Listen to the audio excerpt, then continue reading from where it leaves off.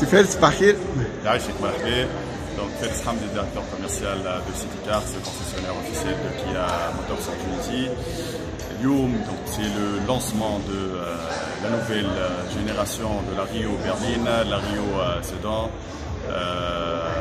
modèle Makoubach Amtouensa, pour la première fois donc نجيبوا euh, une nouvelle motorisation sur cette euh, euh, génération اللي هي le, le 1.4 euh, litres d'essence qui développe 100 chevaux d'ine et 6, euh, 6 chevaux fiscaux. Euh, pour la première fois, la, la, la berline Head sera proposée en deux versions, une boîte euh, manuelle CVT, c'est une boîte auto CVT, c'est la kiff. Une nouveauté sur ce modèle, c'est principalement au niveau des, de la motorisation et aussi au niveau des options. comme une montée en gamme pour ce nouveau modèle.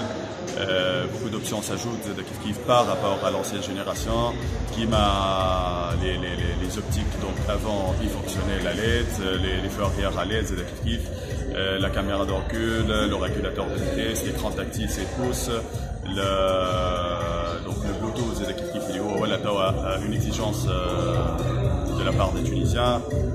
Est-ce est qu'il y a des options particulières pour les enfants à l'arrière ou alors, pour les enfants, donc l'équipement nécessaire, c'est la, la, fixation isofixe اللي هي موجودة اللي هي deux séries بالنسبة للكرهبة الكل. les options, ils peuvent, les, les enfants, ils peuvent. Euh, Et au niveau connectivité, par exemple. Comment? Connectivité. Certainement. Au niveau de la connectivité, donc l'écran tactile, il, est, euh, il peut s'adapter avec les applications donc euh, Apple CarPlay et Android Auto. نعرف الفرنسا الكل مغرومين بال بال بال دونك تو سكي كونيكتيفيتي فيها اليو اس بي زاد كيف كيف فيها لي كونيكتيفيتي اوكسيليير زاد le poste le poste donc le poste radio il peut se connecter avec la, la, la, que ce soit avec l'Android ou bien avec la, la, la, Oui, au niveau prix, et, et combien voilà. de modèles Alors, nous avons actuellement deux versions proposées.